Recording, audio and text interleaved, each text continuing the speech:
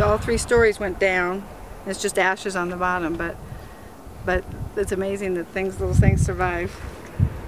It's it's tough because we we just ran across a lot of our um, neighbors up there, and you know every time you hug somebody, you cry. So that's that's tough. As it feels different, looks way different. Looks like a bomb went off back in there. And they, the firefighters worked so hard. They were just, I can't say enough good about the firefighters.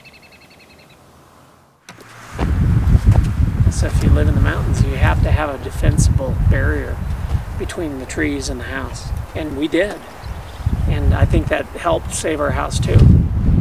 I can't even imagine what those people are going through.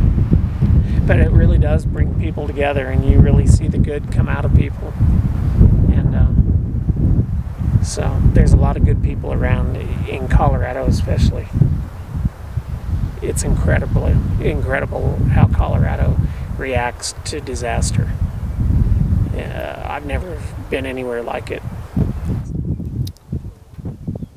We'll just watch it regenerate. You know, the fire chief stopped over a little bit ago and we were talking and he said pretty soon there's going to be herds of elk and deer like crazy because they like the, you know, once the new stuff starts coming up, the new grass and stuff.